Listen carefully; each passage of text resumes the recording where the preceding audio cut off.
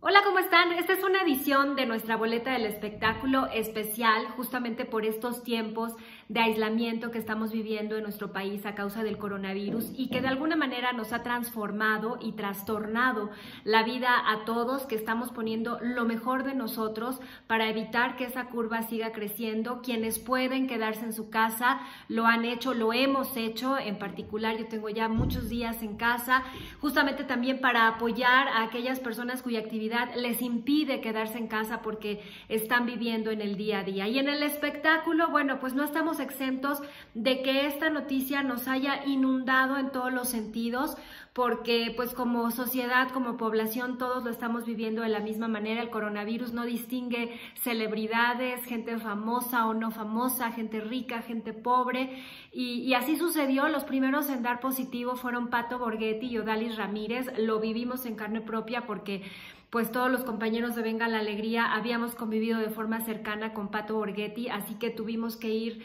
a aislamiento eh, voluntario justamente para evitar más contagios dentro de nuestra producción y entró un equipo emergente. En el caso de Odali sucedió exactamente lo mismo, la gente de Cuéntamelo ya tuvo que entrar en un aislamiento voluntario para evitar contagios y de ahí en los siguientes días han seguido surgiendo más nombres. Por ejemplo, desde España Plácido Domingo, que dio positivo a coronavirus, el príncipe, Alberto, el príncipe Alberto de Mónaco, que a la vez había convivido con el príncipe Carlos de Inglaterra y hoy los dos están trabajando en aislamiento, también dando positivo a coronavirus, sin ser casos graves, afortunadamente, pero están en aislamiento. Esto del otro lado del continente, pero acá en nuestro país, bueno, ¿qué me dicen de las imágenes de Yolette, la ex académica, eh, en el hospital? Y desde el hospital dando a conocer que era positivo en coronavirus. Camila Sodi con su hija,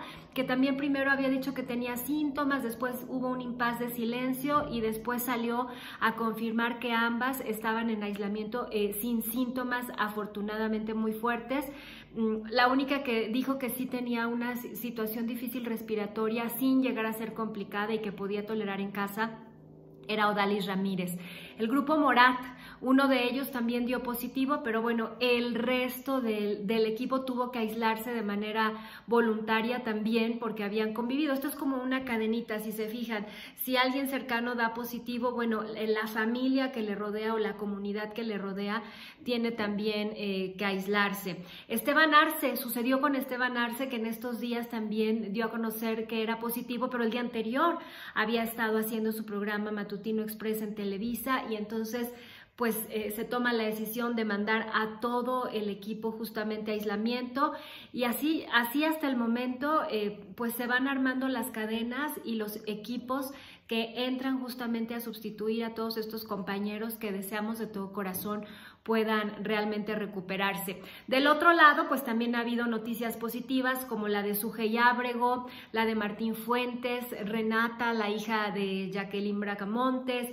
eh, muchos compañeros de Venga la Alegría que tuvieron la oportunidad de hacerse la prueba y después de varios días de espera, pues dieron negativo y eso finalmente te da una tranquilidad espiritual y una tranquilidad mental eh, cuando estás en un aislamiento voluntario como, como ha sido mi caso, que afortunadamente yo no he tenido ningún síntoma, estoy perfectamente sana, he estado transmitiendo todos los días de, aislamiento en Venga la Alegría, haciendo home office, tanto para la televisión como para la radio, y así es como, como vamos saliendo todos adelante. Hay muchos compañeros en aislamiento, ya les decía, pues nosotros en Venga la Alegría, la gente de Cuéntamelo ya, la gente de la Andy, que por ser Dana García positivo, de los el primer positivo que se dio a conocer en espectáculos fue de la actriz colombiana Dana García, por ser positiva ella, bueno, toda la gente de Landy, donde ella había estado, cerró instalaciones porque hay muchas personas eh, de la tercera edad que no pueden que no, pues que necesitaban irse a, aislamiento para evitar ser contagiadas. Anel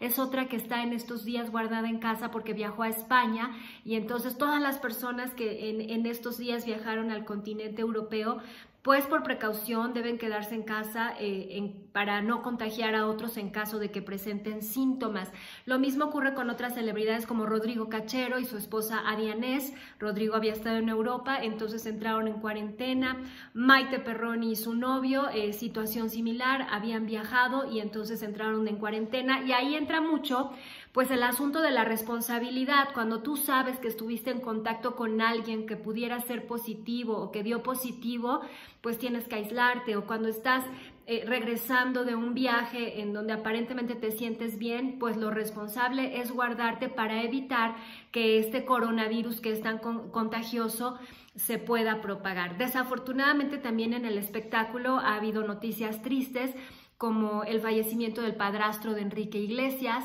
Carlos Falcó, de 83 años, justamente a causa de una neumonía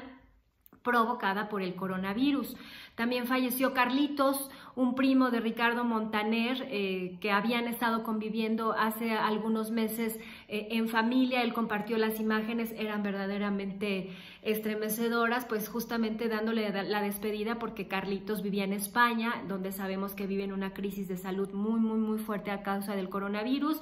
Mismo caso, Lucía Bosé, la mamá de Miguel Bosé, eh, él la tuvo que despedir de forma digital a través de las redes sociales porque sabemos también que han sido tantos los muertos en España que los servicios funerarios, no solo los médicos, pues también de alguna manera están rebasados y colapsados. Entonces, como les digo, por todos lados nos llegan noticias del espectáculo alrededor del coronavirus y lo que nos resta a todos de alguna manera es tener prudencia, estar tranquilos y tomar las mejores decisiones. Por ejemplo, la radio que nosotros estamos transmitiendo en nuestro programa Fórmula Espectacular vía remota, pero también otros compañeros dentro de la empresa que, pueden formar parte de grupos de riesgo lo están haciendo vía remota, como Maxine Goodside, como Eduardo Ruiz Gili, como Shanik Berman, como Janet Arceo. Y bueno, eh, la menor cantidad de personas están operando las estaciones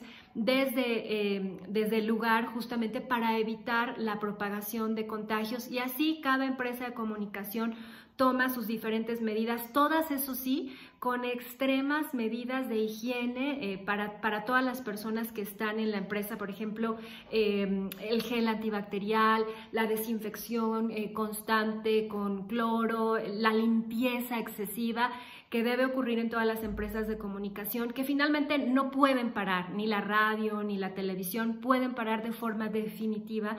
porque tienen que operar, pero sí, creo yo, con el menor número de recursos y además se pueden tomar decisiones para, para, evitar que haya mucha gente en las instalaciones, como sucedió con Televisa, por ejemplo, que ha cancelado ya de forma definitiva, primero fueron tres semanas y ahora ya de forma definitiva la realización de Los Pequeños Gigantes, este reality show que ya habían comenzado a grabar, a grabar Galilea Montijo en Televisa, pero que finalmente ante la contingencia y dadas las circunstancias de que tienen público en vivo, de que manejan niños, muchas familias en el foro, etcétera, era prácticamente imposible eh, continuar con el proyecto porque además nadie sabe a ciencia cierta qué tan larga va a ser la pandemia. Las autoridades hablan de una pandemia larga, entonces ir aplazando un proyecto que finalmente no saben cuándo van a, poder rearmar, pues toma la decisión de, concluir y bueno, desafortunadamente mucha gente se queda sin trabajo. En el caso de la voz azteca, lo que sabemos es que el proyecto está pospuesto debía estrenarse justamente a finales de mes por las mismas circunstancias, tratar público en vivo y una logística que involucra muchísima gente, han decidido posponer el proyecto para un mejor momento de realización y producción, pero no se ha dado a conocer las fechas exactas en cuándo podrían de alguna manera retomarlo. En Imperio de Mentiras, esta telenovela que produce Giselle González, y esto me lo cuentan, supongo que que con mucho sigilo se maneja la información y como debe ser, parece que van a, van a parar las grabaciones en estos días, y no es que este fin de semana, justamente porque ha habido eh, algunos síntomas eh, entre equipo técnico y equipo de maquillaje que pudieran ser positivos de coronavirus y entonces parece ser que van a parar algunas semanas eh, justamente para ver que todo el equipo esté en orden, esté bien de salud y entonces más adelante poder continuar porque la producción de una telenovela pues también implica eh, escenas de riesgo, porque hay besos, porque hay contacto físico por el lado de la pantalla, pero también detrás de cámaras implica mucha gente en proceso y en producción que evita que se respete justamente la sana distancia, que es un poco lo que hacíamos en la primaria cuando tomábamos distancia, ¿se acuerdan? distancia por uno, dos, tres, eso justamente en los 360 grados. Entonces sí, la industria de la radio y la televisión están en un momento complicado como como toda la economía en nuestro país, pero por lo pronto, creo yo, hay que dar prioridad a, la salud y a atender muy bien las indicaciones de, de, nuestras autoridades y las nuestras propias, porque todos tenemos un instinto y un sentido común sobre lo que podemos hacer y lo que debemos hacer para aplanar esa curva y evitar que crezca. Los espectáculos pues están también inundados del coronavirus en cuanto a información. Hay mucho estrés, hay una situación de gran preocupación, pero creo que lo mejor es mantener una actitud positiva, una actitud em, propositiva y tratar de salir de esto desde nuestra trinchera, pues ya saben, guardando la sana distancia y en la medida de lo posible guardarnos en nuestra casa. Esta es la edición especial de nuestra boleta del espectáculo y seguimos en contacto a través del canal.